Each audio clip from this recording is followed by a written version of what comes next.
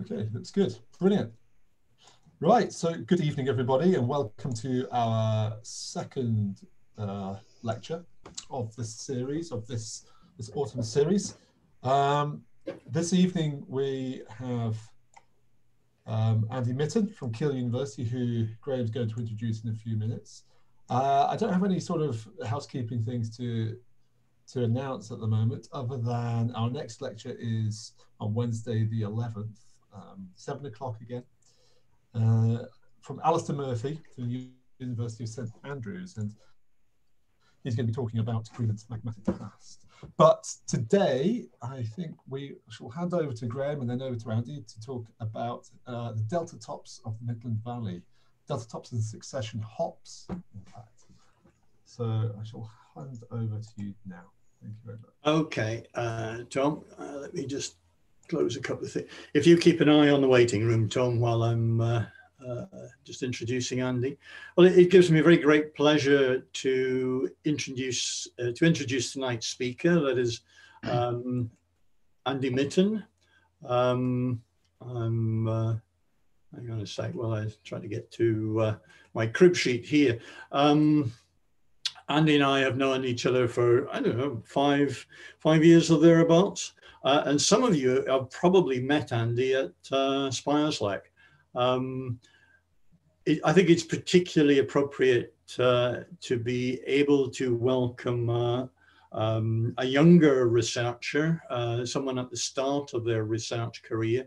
Um, and uh, so it's um, uh, very nice to have someone talk to us who's really just beginning to branch out in his uh, research expertise. Andy uh, graduated from Keele uh, University in 2015 with a uh, master's in geoscience uh, degree. Um, stayed there to um, start a PhD looking at river systems in the US. Um, somehow that, that PhD branched out to uh, begin to look at river systems in uh, in Scotland and particularly at Spireslack. I, I may have been uh, partly responsible for that and dragging Andy up to Spireslack and say, hey, you must have a look at this stuff. Um, but uh, particularly Andy is looking to uh, ways and means to generate reservoir models. Uh, so to use the observations that he is uh, very adept at making in outcrop and transforming those into uh, reservoir models for the subsurface that uh, that can begin to tell people about the, the way that uh, resources, uh, hydrocarbons in the main, but uh, water as well, uh, how they how those would behave in the subsurface. So he's beginning to get on the publishing stream. We together published on uh, in 2018, and Andy is now lead author in a number of papers and uh, we'll all have our fingers crossed for him in the uh, first few days of next month when he does his uh, PhD viva. So we look forward to uh, seeing that all successfully completed, Andy. Um, amongst other things, he's um, uh, won a, an outstanding presentation award from uh, SEPM in 2019 for that work on uh, reservoir models. And so we're very pleased to have Andy here tonight to talk about delta tops and succession hops. That's quite an intriguing title. So Andy, I'll just hand over to you. Okay, so if I, oh, host, host disabled participant screen sharing. Uh, right, just looking into that. Enable screen sharing. It should be. Allow participants to share screen. Nope. Oh. Are you trying to tell me something subtly, Tom? Not at all. Oh, I've just made you a co-host. Actually worked. Okay. Yeah, I've got it now. Excellent. Yeah. So I'll just minimize everybody. Uh, there we go. That's fine, Andy. That's all very clear. Okay, Brill. So yeah, thanks, Graham. Uh, today I want to talk to you about delta tops and succession hops. Uh, so the cyclic changes that we see in deltaic sedimentation and what causes them those uh, those cyclic those cyclic variations. And we're going to concentrate in particular on the Clackmannan group of the Midland Valley in Scotland. Um, like like Graham said, it's somewhere that I got uh, pretty much dragged to, but uh, I've kind of fallen in love with the site a little bit. It's got some fantastic geology, and um, I'm going to try and do it just justice today. I'd like to thank the people that I work with on this project, um, those at the Basin Dynamics Group here at Keele, those at the BGS, and Billy Andrews at the University of Strathclyde. Uh, Johnny, who's second on this, um, actually is punching probably about 60% of the work on this. My PhD only forms a very small portion of the story today, but he was a master's student at um, Keele University, so a lot of the work is has been done off his back. So the aims of the talk today are to look at how do sedimentary cycles form, what drives the cyclicity in the Clackmannan group itself, and to raise some questions regarding uh, carboniferous, carboniferous cyclicity and try and just reassess the, the dogma, if you like. So I'm going to do a brief introduction to the Carboniferous of the UK, a brief introduction to cyclicity deltas, look at the geological setting, look at the limestone coal formation, this unit here, based in the Namurian, provide a depositional model for it, look at the upper limestone formation, the, the lithostratigraphical unit above it in the within the Clackmannan group, and then look at the regional correlation of this unit and then discuss what's driving our delta tops and our succession hops. So the Carboniferous of the UK uh, saw three major highs within the UK, the Welsh Brabant High, the Southern Uplands High and the Grampian Highlands. And between the Grampian Highlands and the Southern Uplands is this Midland Valley here in Scotland, where Glasgow's about here. And during the early Namurian, this was completely dominated by what's called cyclothem deposition. And a lot of you might have heard of that term, but we'll come on to it in a bit and I'll explain a bit more about it. But that's what this yellow represents here. And you can see the entirety of the Midland Valley is full of this, uh, this yellow unit. So this is all cyclothem deposition here. Midland Valley itself is bound by the Southern Uplands Fault and the Highland Boundary Fault, which are probably Caledonian type structures that have lots of phases of deformation running through them. But not to muddy the story too much, we're looking at these yellow units here, this Namurian strata here, and because of the scale of the map, there's a tiny yellow blip just below that S there, and that's where we're going to sit and talk about today with this S. This is Spireslack. Here, this is going to be our field site. And paleogeographically, we're on the equator on the continental margin of Laurussia. So succession hops, kind of the key thing that I want to you to think about today is these are mainly driven by fluctuations in sea levels. Cyclicity is mainly sea level driven in uh, sedimentology in the most basic principles of it. And this is driven by Milankovitch cyclicity. And these are variations in the Earth's orbit. So they can be the shape of the orbit, for instance, eccentricity, where we're looking at a more circular orbit to a more oval type orbit. The obliquity or tilt, so it, the Earth isn't like that. It's more at 23 degrees and it spins around its axis on that on that plane.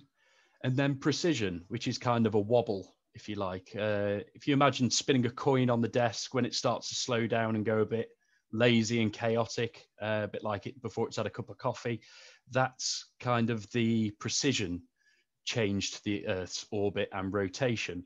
And they occur at three different scales. So at 21,000 years, 40,000 years, and 95,000 years approximately. And here's a sea level curve through the Namurian where we're seeing the blues, which are sea level rises, and the reds that are sea level falls. But how, do, how does the sea level rise relative to these Milankovitch cycles? So the Milankovitch cycles dictate climate. So when it gets hotter, the polar ice caps that we had during the early Carboniferous melt, and that raises the sea level. Likewise, when they when you go into ice house conditions, when you're forming these uh, when you're forming these polar caps, sea level falls. And this is going on today, and it's not such uh, good news for Mr. Polar Bear because we're massively increasing these changes. So a change that we would be seeing would be a vertical line here. Um, but, you know, there's we'll have a reprieve from all that doom and gloom today because there weren't any polar bears to worry about in the early Carboniferous, which is good. And these succession hops are driven by two major components variations in accommodation space. And by accommodation space, I mean the hole in which sediment is put in, the basin. Um, without a hole, there's no, way, there's no way that you can preserve the sediment. And the rate of sedimentation, so the speed at which sediment's coming in to fill this accommodation space. And accommodation space is driven by these fluctuations in sea level here and also subsidence. We can lose accommodation space by uplift. And sediment supply is driven mostly by climate, which we've said is linked to sea level, but also it can be related to uplift as well. If there's a, if there's, if you imagine a, uh, an orogeny where you're having a mountain mountain range uplift, then you're going to generate a lot of sediment that can be eroded and then transported down into the accommodation space, so into the basin. And this kind of just creates this witch's cauldron um, of sedimentological controls where we're having sea level change and tectonics dictating uh, accommodation space creation and sediment supply and tectonics well, should say climate really, but its sediment supply really is muddling the pot even further with our controls. And what this witch's cauldron and all these ingredients kind of produce produces this soup of of uh, geological topics. It's called sequence stratigraphy, where which is the analysis of uh, sedimentary cycles from a stratigraphic uh, perspective. So we're going to kind of look at the products of this soup uh, today. And I mentioned cyclothems before earlier. A cyclothem is an old mapping term where you map from carbonate unit to carbonate unit.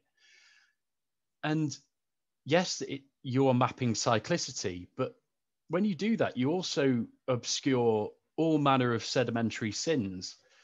So today we're going to look at the genetic properties rather than the lithostratigraphical properties of sediments and try and correlate based upon how those sediments have formed. So we have a general shallowing upwards sequence here where we're going from carbonates through into shallow marines, into littoral, by littoral I mean beach, into continental material where we might get uh, fluvial deposition, so river deposition. But if you look before the carbonate here, we've got a large juxtaposition of environments. We're going into offshore material. So we've probably experiencing some sort of sea level rise here. And if you were to correlate this based on cyclothems, you'd miss that deepening event there. And that's a type of succession hop. So we're going to call our shallowing upward sequences parasequences, and these are separated out by our first type of succession hop, a deepening event. Just to give you a little bit of a cross section of what that would look like, if you imagine you had an ancient sea level here and you were to fill that accommodation space with the sediment that's been uh, inputted into the, into the system, these would generally prograde or outstep out into the basin. So we're going to look at this progradation here. And if you were to put a vertical log going through this here, where you've raised the sea level and again you've infilled, if you were to raise that sea level and have another parasequence unit coming in over the top, you put the log through there, it would look a lot like this, where we're going from carbonates into these shallow marine siltstones here, into shallow marine sands like here, and then up into littoral and continental units like here, deepening event, and then the cycle repeating again. So we can see this general progradation to parasequences and we can see how they stack on one another. When we throw subsidence into the mix, we end up with a general relative sea level curve that would look something like this, where you're not really seeing too many sea level falls because you've got this subsidence that's tempering this sea level change. And this triangular wedge that I've drawn on here, this is um, a very simplistic view of what sediment accumulation would be doing. So this is the deposited sediment. In here, I've left this blank at this point of sea level rise. Now, there's a few things that go on in there, but for the sake of today, I don't want to muddy the water of the story too much. So we're just going to consider this as a period of what's called sediment bypass, where you're not having no deposition. And the difference between this relative sea level curve and this accumulated sediment is water depth. So when the deepest portions, you're going to get offshore deposition and then tropical carbonate deposition then shallow marine deposition, beach deposition in and around zero water depth, and then continental deposition when relative sea level falls below accumulated sediment. And we've spoken about this cauldron, this witch's cauldron of controls that affect our two things, our rate of sediment input and accommodation space.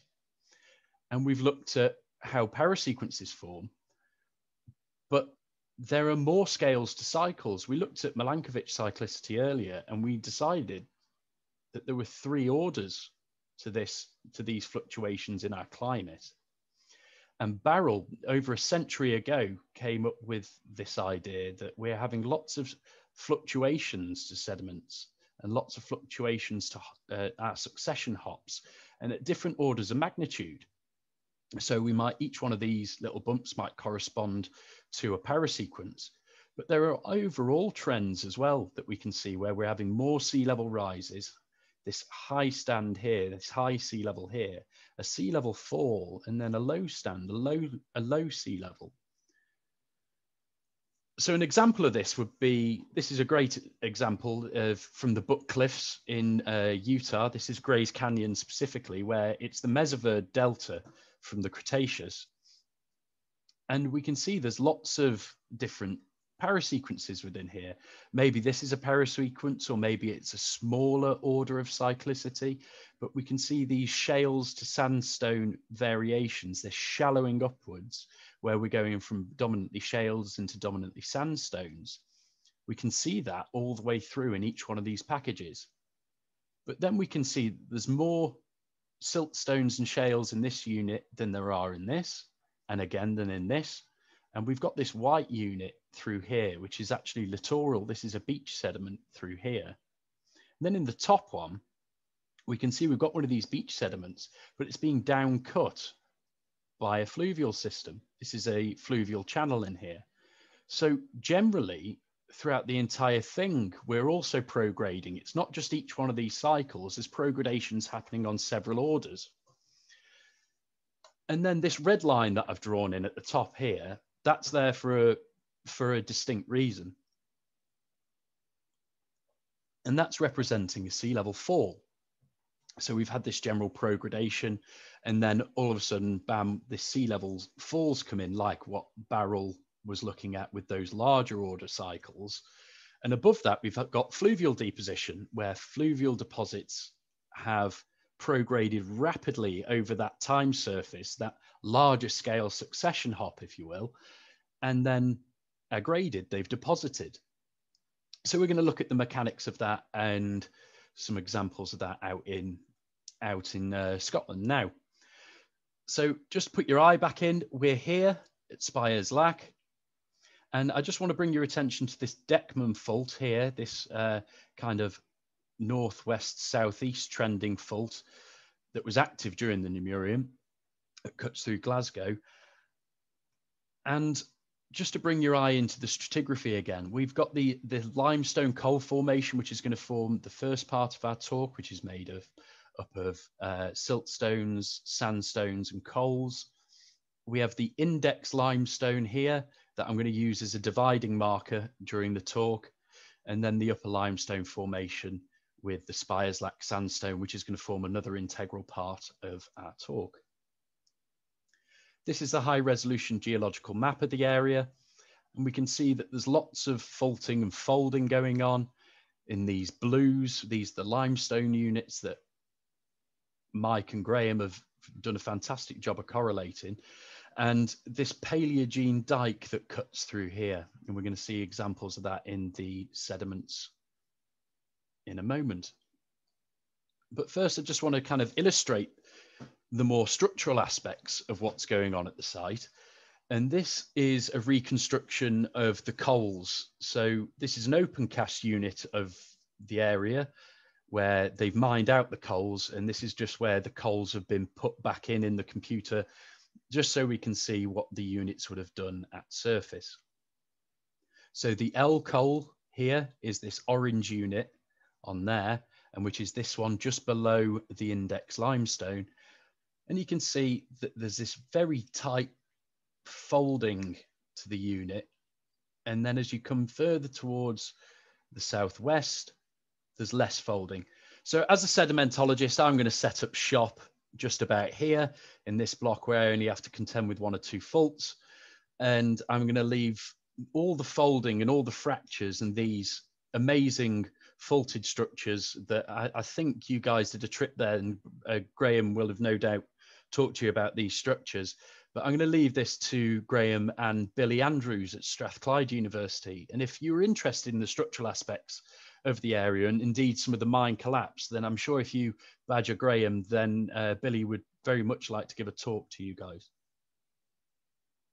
So the site itself is made up of the Ponesk site, Grass Hill, this main void that we were just looking at there, and the B1 face, which is my favorite down here.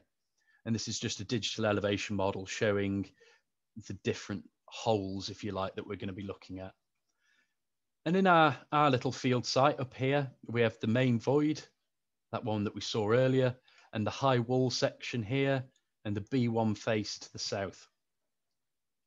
What we did was went out into the field and collected an absolute load of photographs with roughly an 85% overlap on each one and collected lots of GPS points and reconstructed these cliff faces in 3D so that what we can do is we can take them back to well it's particularly useful now with all with the current situation and what i can do is i can an, analyze the sedimentary succession back here in the office in uh, in 3D. So I can take bed thickness measurements, width measurements. I can do surface area estimates of different genetic sedimentary units, and I coupled that with this log through the trench here. Well, Johnny did. He coupled that with the log that's through here. And you know these techniques are really useful because it rains a lot at Spireslack, and it, you know it's quite a lot more comfortable to do it here at home and this is the main void, we can see that it's a very large open cast mining where we have an engineered limestone face on the left hand side here and this high wall succession on the right.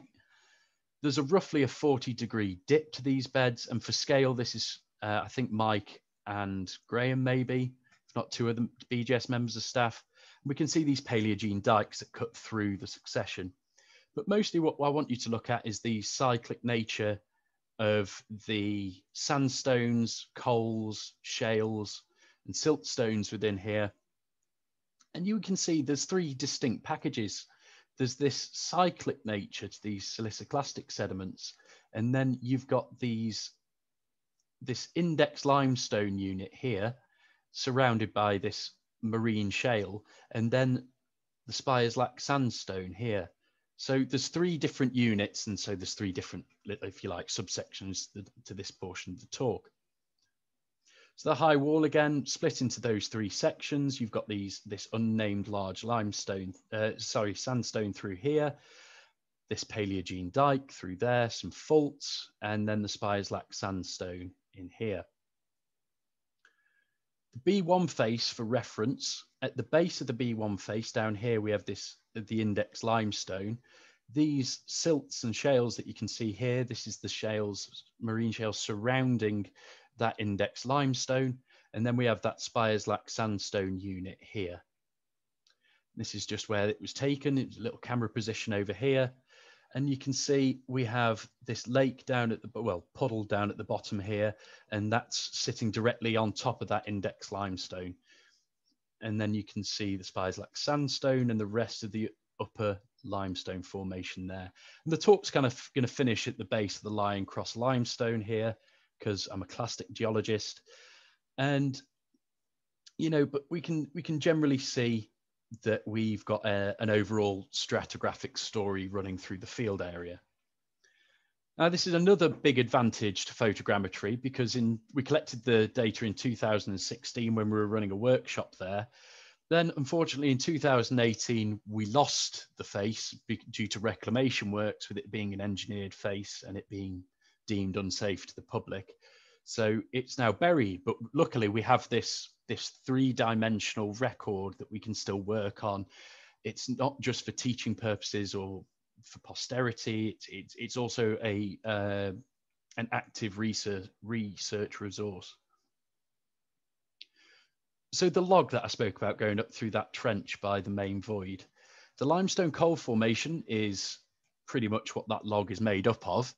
And the log kind of goes up here and then this bit down up there would be that bit down there and then it goes up again and up again up here. But I, I know that you can't see any of that. So what i'm going to do is i'm going to break that log down and i'm going to talk you through certain components that are making up the sedimentology of the area. I'm not going to go into it too much or talk about too many of the cycles because you know th- this talk's probably dull enough. It's going to get it'll get worse if we um, if we go into that sort of thing.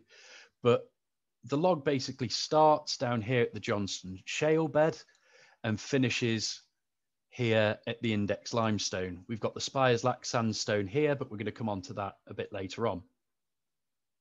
So I'm splitting it up into four parasequences. So I'm going to give the game away right away and say there's four parasequences. And I'm going to go into detail on the first one, but you know, after that, kind of that'll that'll do us. We can get away with the rest. So there's mouth bar deposits. There are intertidal flat deposits where we're seeing nice flaser bedding and things like this. And this is uh, what's operating between mean low tide and mean high tide. We have minor distributary channels. So these are little rivers that are just stretching out off the top of our delta. This is our delta top stuff. And then we have overbank sedimentation where we've moved slightly away from these uh, from these river channels where we're forming coals and lots of bioturbation. And then we have these supratidal flats, which are exposed subaerially most of the time. So they're exposed to the air, they weather, there's a lot of there's a lot of plant activity there that's causing a lot of biogenic weathering. And these tend to form extremely hard paleosols. So these are the kind of the slang mining term for these are seat earths. Hopefully some of you have heard of that and you can kind of get an idea of what these are.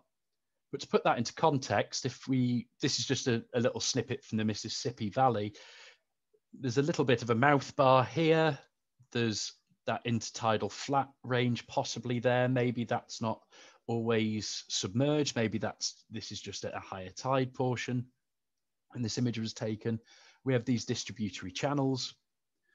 We have a bit of overbank where we're seeing some uh, some maybe some fauna, uh, some flora growing and then building up peat mires and then these supratidal flats where maybe the, the tidal influence isn't quite reaching all that way up onto the delta top. So as I said, there's four parasequences running through here. And, you know, there's these general coarsening upwards trends that we were looking at, these shallowing upwards. Maybe there's some higher resolution ones, like what we were seeing down at the base of the of that um, Mesaverde group example from in Utah before. Maybe that's happening again here in parasequence three. But generally what we can see is that in parasequence four, this is when we start to really get our first influx of a really kind of large river system. This is this unit here is over six meters thick. So this is kind of our first really thick portion of river river systems. And when we consider the proportion of processes that have gone in and contributed to the deposition of these sediments,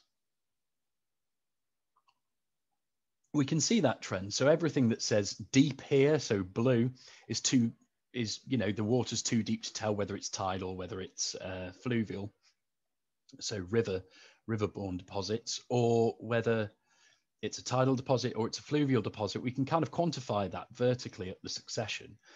And we can see between parasequence one and two, there's a large increase in fluvial deposition. Parasequence three, between two and three, there's an increase in tidal.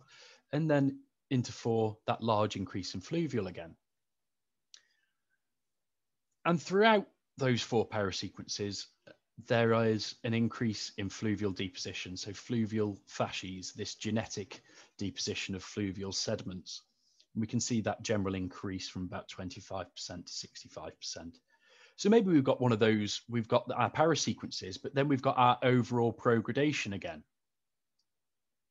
And that can be seen in the bed thickness data. This is just some of the work that you can do with the photogrammetric reconstructions. And this is pulled straight from Johnny's thesis, where we can see these prograding units up through here. Each one of these parasequences has been correlated. But overall, we can see the increasing bed thickness. And we can see that there's a, this large, what we called unnamed sandstone before. You know, it's pretty much the dominant portion of this parasequence here, whereas before they're a lot more heterolithic. There's a lot more sand, silt, and shale in there. So there's three kind of M members to deltas, those dominated by rivers, waves, and tides. River dominated ones are like the Mississippi, like what we've just seen, these long finger-like deltas, where uh, we have the wave dominated deltas. These are more winged, and quite flat, like the Sao Francisco one off the coast of Brazil. And then tides, we end up with not so much deltas, but estuaries uh, dominating these successions. Uh, but we end up with lots of little uh, islands that end up building out in a delta type of geometry. And this is just an example, a schematic from the fly, del well, delta, if you will, from Indonesia.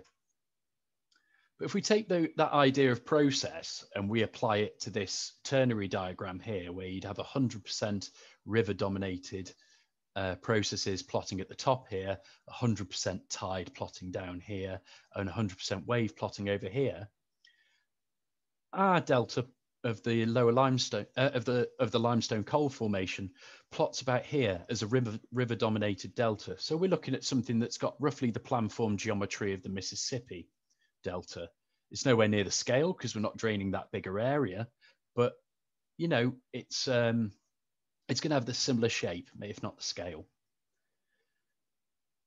What I find interesting with our succession hops here, if you like, we've established at the top, we've got this large one that's we we've broken up our succession into the index limestone here. And we've got an overall progradation through it here where we're seeing more fluvial and continental material in the, or in the yellow and orange here. And what we can see is when we look at our parasequences, that the parasequence boundaries never really go fully, fully marine again, apart from possibly at parasequence two, which was more dominantly tidal than anything else, which is also interesting. But that's that begs the question: if it's a sea level rise, you'd expect to see, you know, marine sediments in there. So maybe there's something going on there. And then we get this larger sea level rise here for the index limestone, and then the Spireslack, where we can see something entirely different is going on in the Spireslack sandstone when we go up into the upper limestone formation. And this is just a plan view schematic, if you like, that Johnny produced of the limestone coal formation. So you can see again what our sediments would be looking like. So the upper limestone formation at the B1 face, again, remember this is the Spireslack sandstone here. We have a fluvial portion to that. So we have a river dominated succession here. These inclined heterolithic strata here is also within the Spireslack sandstone. And then a marine upper limestone formation portion above. So we're going to work through this stratigraphically. We're going to concentrate on the fluvial bit, then we're going to go to the incline bit, and then this bit of a head, what was a bit of a head scratcher for everybody in here, and then finishing with this final marine section here. So our fluvial system for the Spireslack sandstone can be split into two genetic units, one channel set and another. So channel set one is quite massive, quite homogeneous, and we can see it's uh, by homogeneous I mean it's a wall of sand. Um, that's not much. It's not very heterolithic. And channel set two though has quite a bit more complexity to it. You can just see that but through the way that it's weathered here, and again here. There's a lot more blocky type of material here rather than it just being one big wall. And we can see some inclined strata there. So channel set one is forming very simple channel-like deposition where we're having bed form uh, deposition in the base of the channel. And that's just building up when the channel abandons. And then in channel set two, we're getting a lot more bar form deposition. And that shows up really nicely here in the sedimentary log, where at the base, we're seeing this, again, this sedimentary log works the same way.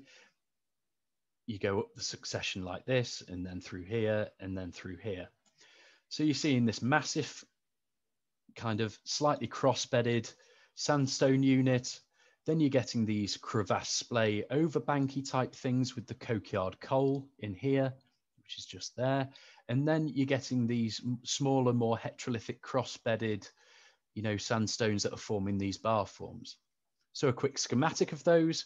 This is what one of the river channels would look like with the bed forms migrating down there. You know, quite classic fluvial deposition. Then some crevasse splays with peat mires forming and maybe some standing water aiding the formation of this courtyard coal. And then some bar form deposition where we're getting quite complex interactions between bar uh, bed forms that are building up and forming a lot like the mid-channel bars that you see in a lot of river systems in the modern day. But now I want to focus in on this kind of inclined heterolithic unit here and what you can see is that these beds form kind of S shapes, like really stretched out S shapes. And each one of these is kind of filled with these, these burrows here that are saline burrows. So they're deposited in saline conditions. And they've got a distinct orientation to them, which means there is a significant flow operating in the area. And these are tidal these are tidal burrows. And so we think this was a tidally influenced point bar. You know, they're all influenced in one way, but there's these tidal couplets that you see in the actual bedding. You're actually getting sandstone, siltstone, sandstone, siltstone, much like what we saw in that intertidal zone before in uh, the limestone coal formation. And again, into the head scratcher unit now. So that's separated out here. And this photo is taken just from in here, we, where we have couplets of sandstone and shale. And, you know, no one really was kind of getting to grips with what this was till Johnny went away and did a really good literature review and came up with this example where it's this is from the states as well. This is from the Neslen Formation, uh, some work by Ronald Steel where we're seeing kind of cup shaped to circular channel fills of sandstone and siltstone couplets. And there's a nice example of that in here. So that looks pretty similar, where we've got this tidal influence producing these couplets, but we're in this nice channel shape. And this is these are estuary deposits. So we we've kind of trans transitioned from a really active river system depositing really coarse sediment. And then, you know, we've had a bit of a period of quiescence where we've had some crevasse splay deposition and coal buildup. And then we've had a bar form buildup where we're getting a, a bit more of a traditional sedimentology to a river system and then a tidal point bar deposit through into an estuary. And as we said before, when we were looking at the fly on that ternary diagram, that estuaries are dominantly tidal. So maybe we're seeing some sort of overall change here. But that overall change is kind of finished off by this marine portion with the Lyoncross limestone in here, which might be marine. I mean, um, it, it looks marine, but um, we don't know for sure because the face is gone and we could never access that portion of the face. But you know the the overall pattern here is completely vice versa to what we were seeing before. So we thought we'd try and correlate this. And if anybody's tried correlating with uh, borehole records, I mean, I was very lucky. I had these lovely graphic representations of the log to deal with, but it can be very difficult to correlate coals and limestones through these units. Now, this is our map of our boreholes that we've used. So this is our study site. This is the cross section that we're going to be looking at here, which is kind of a strike section through uh, the regional paleocurrent. And we've got the A70 wiggling its way through our map here, down to Muirkirk here, and Douglas is up here. And to kind of give reference to our to our section, we're using the index limestone like we have done for the entire talk. That's what's going to divide up our section and that's what's providing our flat surface that we can then orientate all the boreholes against. And what we can see in the lower section is that limestone coal group where we've got these black metals. So the Johnstone, that Johnstone shell bed would be about down here on all of these. And we can see some small distributary channels cross-cutting coals and forming this kind of parasequence stacking relationship in there. And then you have this index limestone and associated shale succession. But what we don't see, certainly in the models that we've been, the 3D renderings that we've been looking at today, is this Birchlaw limestone. And that is that does outcrop in the Spireslack, this SGP Spireslack site that we've been looking at, but it's just not shown up in our in in that main void or on the B1 face. So we've I'm kind of leaving that as it is and just focusing on the field site. But just to show you that it, it is there, but this Spireslack sandstone, well, more importantly, the surface at the base of the Spireslack sandstone has actually cut down and eroded that away in our field site. And we can trace the two channel sets and the inter interfingering coke-yard coal. And the general thickness of this Spireslack sandstone changes as we look across our transect. And we can see from this, this is just a thickness map here where the lightest colors are the thinnest and the darkest colors are the thickest. And we can see it gets to about 16 meters in and around the Douglas area here in the Douglas 1 borehole. And that kind of general trend that's kind of running through here is in line with that active Dechmont fault running through Glasgow. So maybe that's playing a role in controlling our sedimentation of the Spireslack sandstone, actually the distribution of those sediments. So to build up a depositional model for the overall area, not just the upper limestone formation, we have our parasequence buildup that is forming our general progradation through the limestone coal formation, where we're seeing these deepening events, that we were looking at down at the left uh, bottom left here, we've got, I'm not an artist, I'm sorry, but this is a very badly drawn sea level curve where we can see these little steps like what we were looking at before. And then we have our index limestone where maybe we've got a large transgression. The index limestone, incidentally, would be this unit here in this 3D block. And I've just drawn a general parasequence above that that shows um, and that, I'm just accounting that as the Birchlaw line, uh, as the Birchlaw package that's in here.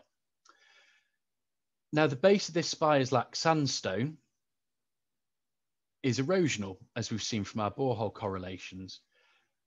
And that is our general shape that we're forming. So as we've dropped our potential sea level here, forming that larger scale succession hop this uh, that's branched out from the overall progradation.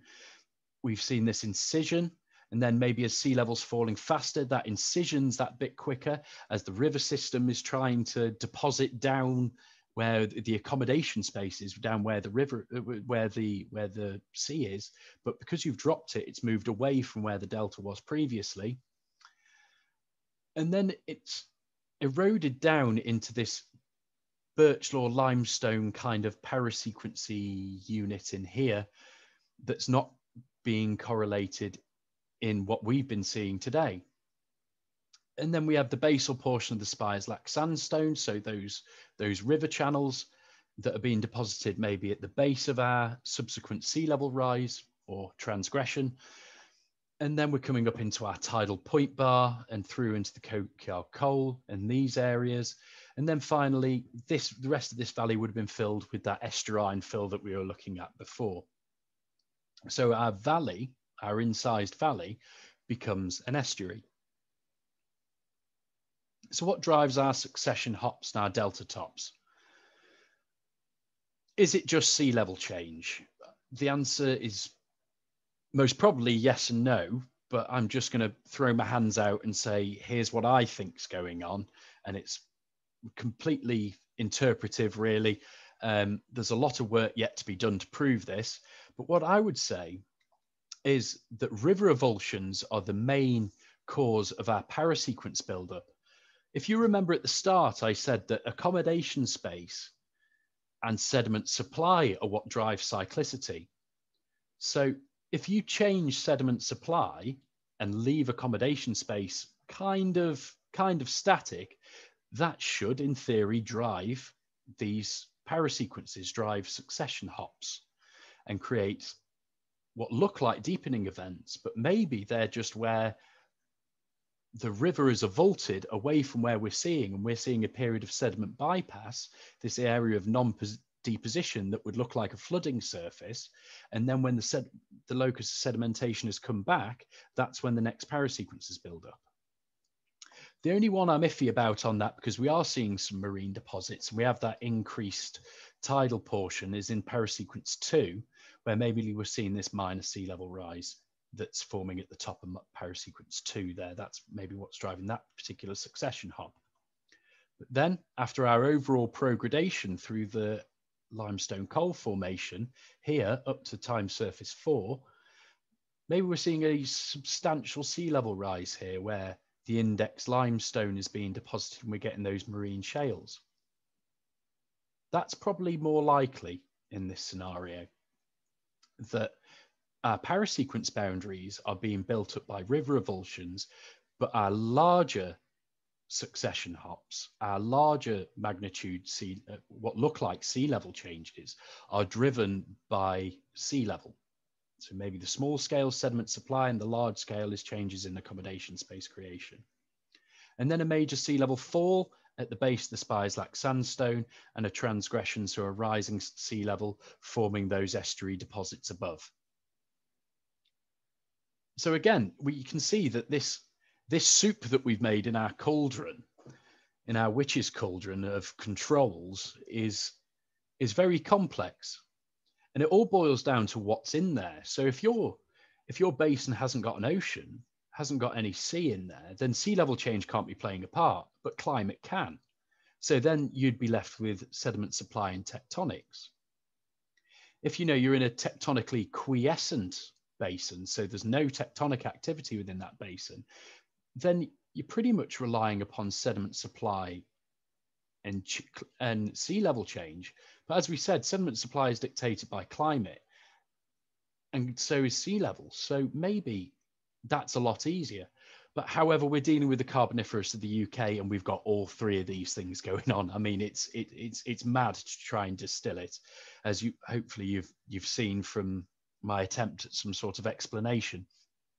So it boils down to how many controls are there on the, how many controls are there on that system? What's the most dominant control on that system? Is it river avulsion? I think in this case, yes, because we're dealing with a river dominated delta. Is it sediment supply change? It could well be. I mean, we, we're, looking at active tectonism in the area where we could be having an uplift. We've seen that the Dechmont fault is potentially playing a control. So I think it's possibly a, a complex mix between river avulsion and sediment supply change through tectonics that's actually driving these control, that's driving these sedimentary succession hops and these delta tops that we're seeing. And then finally, is it sea level? And kind of the dogmatic stigma that has been through sedimentology um, particularly within the Carboniferous, is that parasequences and cyclothems are driven by sea level change. And kind of what I want you to take away from this is don't believe that dogma. If somebody says to you, and they're so fervently stuck in their ways that it, it must be sea level change, ask for a bit of evidence. And yeah, for sure, it could be. But you know, there's a lot more complexity there that that preconceived ideas aren't quite taking hold of. So there's a few things that this is bringing out that's challenging the norm, which is quite nice. But at the same time, again, at the moment, I have no proof. So the kind of the the next thing to do would be to model these successions. So we take our nice little individual parasequence models, and those of Barrell from nine from over a century ago, and we combine them and we try to replicate the sedimentary succession at Spireslack.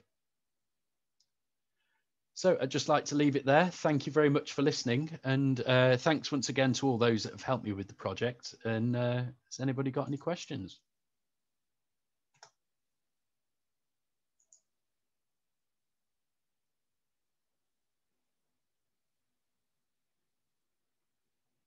You're muted still, Graham.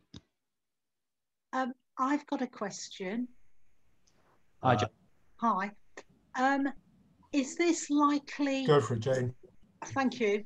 Um, is this likely to be similar across the whole of the Carboniferous, or will it very much depend, as you've said, how close you actually are to an ocean?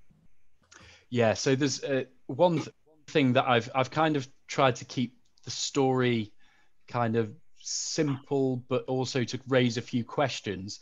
There is a huge space aspect to these cycles. So these you could get a what are essentially parasequence type cycles with very little in the way of any marine influence at all and that might just be that you are closer towards the land than you are the sea but there's you know we are seeing some marine influences there. And so maybe there is some larger sea level rises than other ones and maybe sediment supply is playing a control. But yeah there's definitely i would say it depends where you are in your delta and where you are in your your paleogeography to be honest to what's uh, really controlling it. But i just wanted to provide an example of just you know some of the questions that we can raise about the norm Thank you. It's okay. I'm coming from the Carboniferous near your neck of the woods, so. right, okay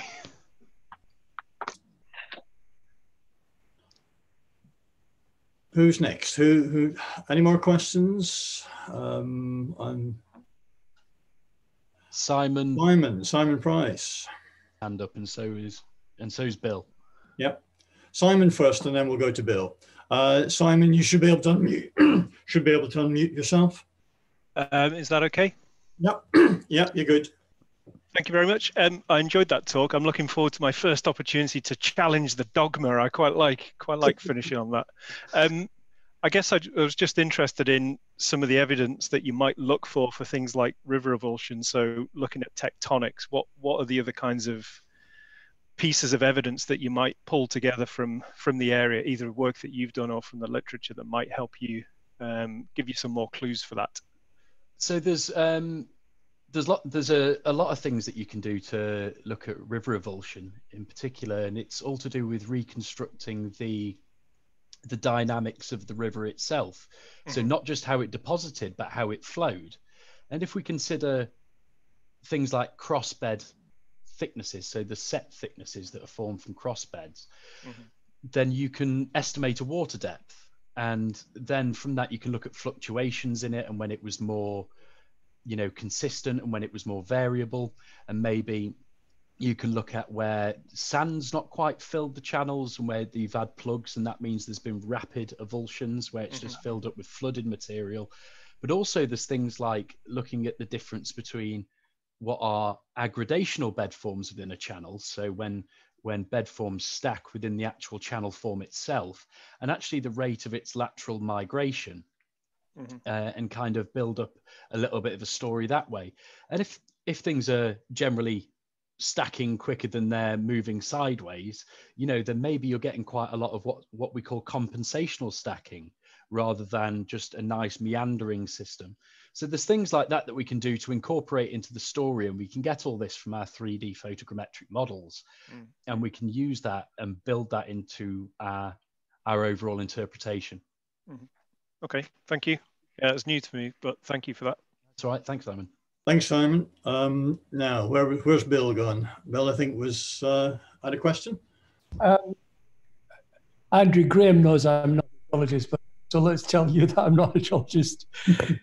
but Colin Ballantyne says that in Scotland, most of the sediments that have come off Scotland and are dumped either in on land or offshore are really at the deglaciation. You know, they're 10, 12,000 years old.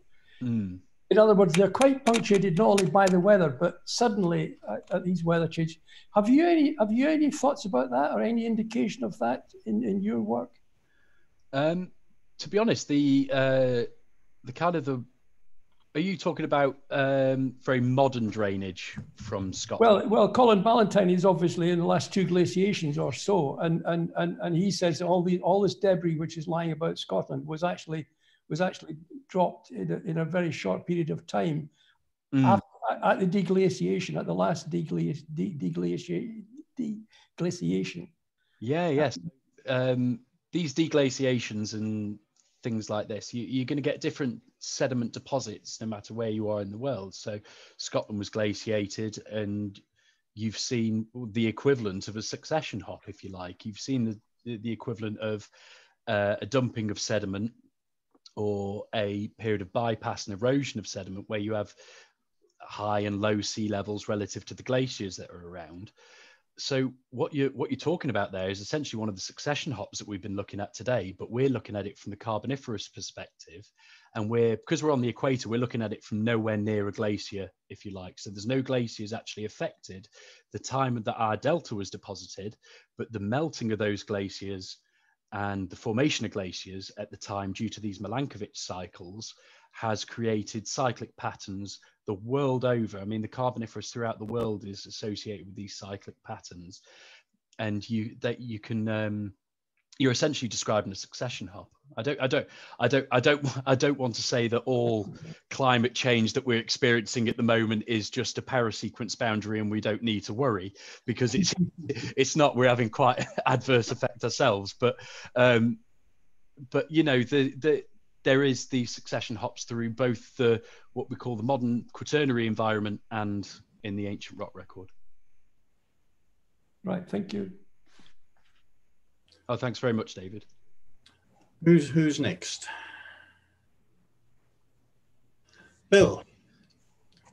Here we go. Hi, Hiya, Phil. Hi, that was really good. Thanks. Really interesting.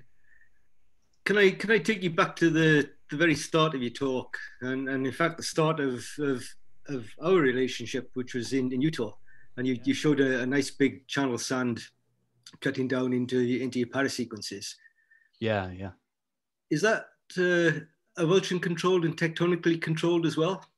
Like like you seem to think the Spireslack is, and the, the corollary to that question then is, having looked a lot at, at Utah as I know you have, are you coming to the conclusion maybe that a lot of the the sequence boundaries in Utah are tectonically controlled rather than sea level controlled?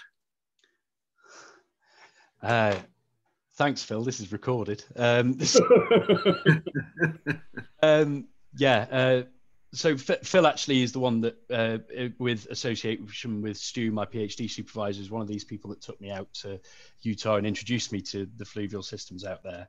But um, yeah, that that that unit that was above that sea level fall, that's that's the Lower Castlegate, and I would suggest, based upon subsidence rates in that kind of region, because it's a foreland basin, you've got very low subsidence rates in that region around Gray's Canyon that you're ending up with kind of like a tectonically succession, if you like, and the, the down cuttings are more pronounced, and these juxtapositions of delta top to deltaic sediments with what is quite coarse braided material is actually more significant in that region the way it's preserving than it is maybe further towards the mountain belt.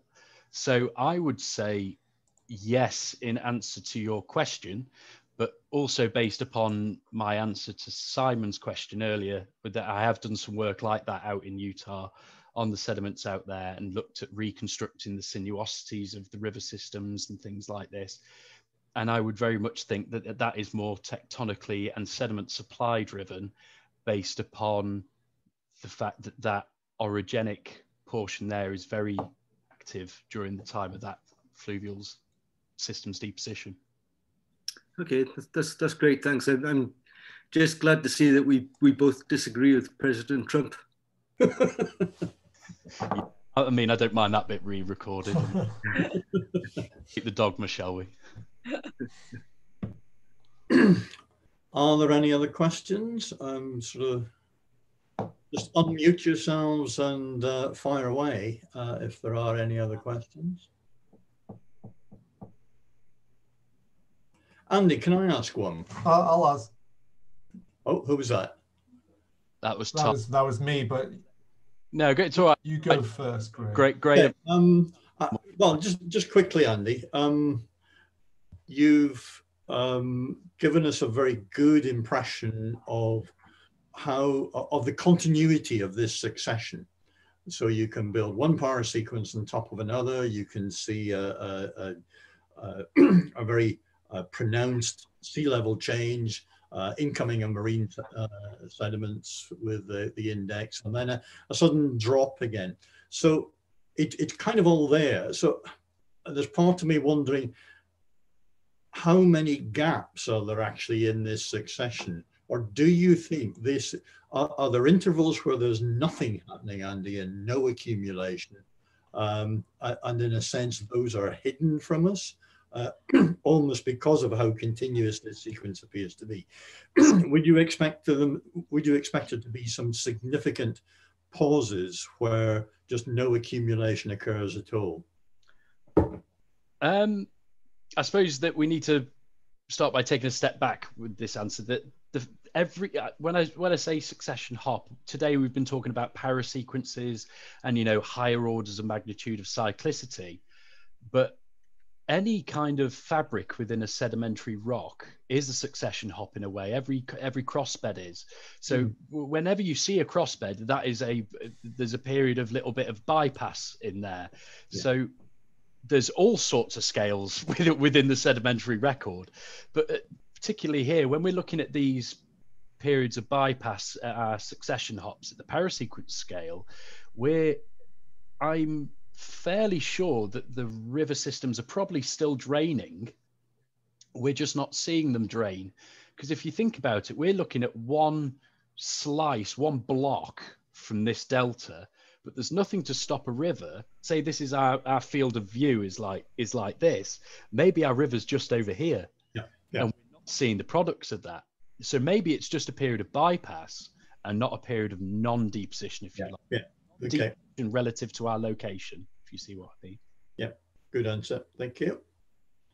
Um, now, Tom, I think you were next. Or is there anybody else uh, want to jump in in front of Tom? Yeah, I, I'll. Carry on.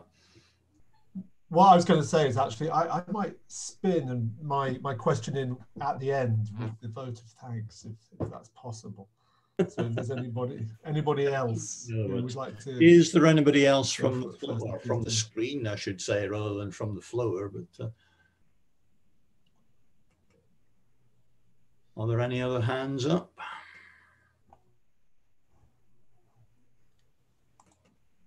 It seems not. Last chance, anyone? Okay, Tom, I'll hand hand the show back to you in that case. Thank you, Andy. Thanks very much. No. Cheers, Graham. Okay.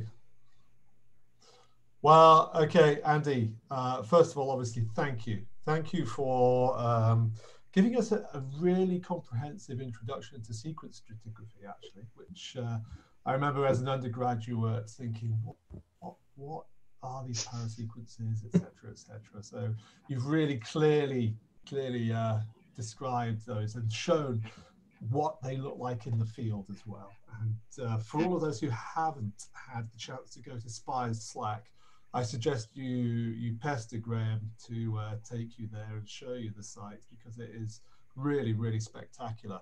And uh, having been there myself, but in a different capacity to what Andrew Andy was there for, it's uh, really, really great to be able to see some of the work, some of the, the sedimentological work that's been done there. Um, now, I was thinking, my, my question, I'm going to pose it to you now, Andy, if that's all right, was you have introduced us there to a fantastic model for deposition of the new the, the, limestone coal in the Midland Valley. And uh, that's I, I think it's good, whether avulsion or this, that, or the other.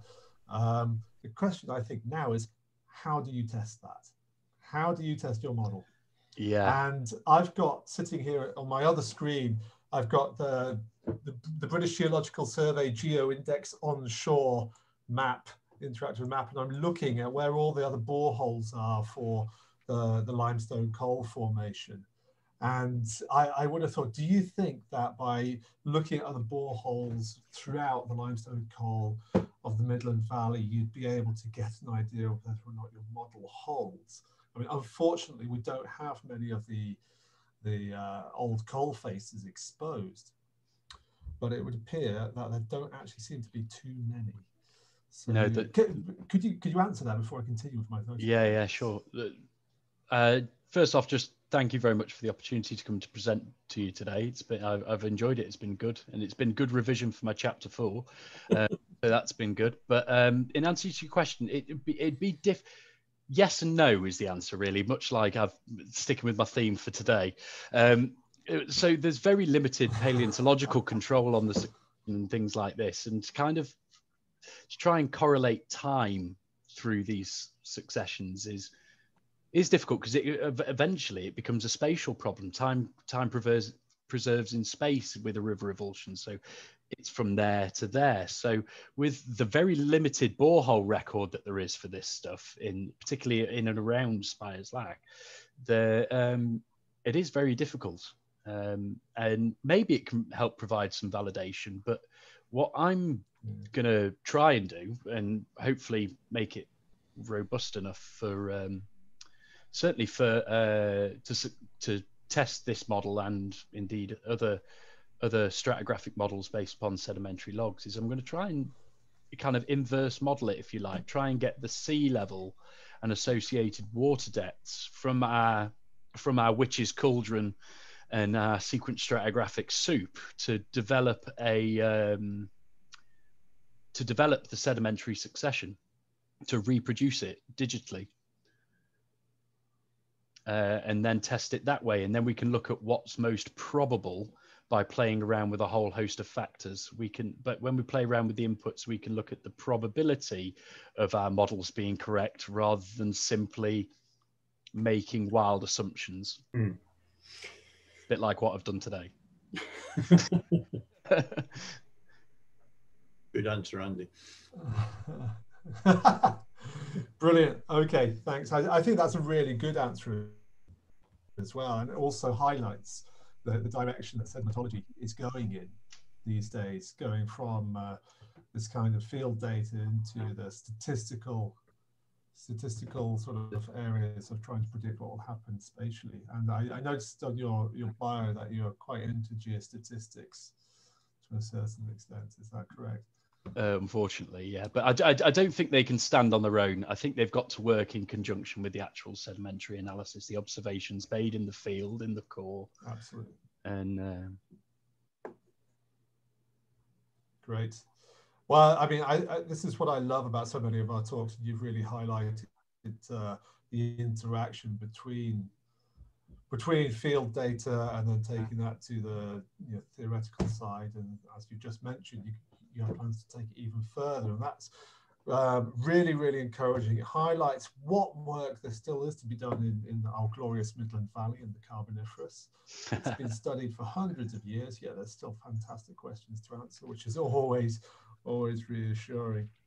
Um, and uh, finally, I'd, uh, I'd like to thank you for what you presented to us and all the best in your Viva, which you say is next week. Absolutely, yes. Uh, I think the society would like to wish you all the best, all the very best for that, Andy. Um, I'm sure it will go very well, and uh, we'll look forward to hearing the news. Yeah, that's uh, fingers crossed. Hey. Yeah, absolutely. Uh, thank you very much, everybody. Thank you. Thank you. Indeed. Virtual clapping now. Yeah. Do that as well. Yeah. Yeah. thank you, Andy. can, That was uh, great. Stay on for a wee bit longer if people want to chat or. Um, so Yeah. If anybody would like uh, to I, I stay and chat, we then, the lecture uh, ended for the uh, thank you very much, Andy. I Andy. shall stop recording. It's hard to the site. It spears like that.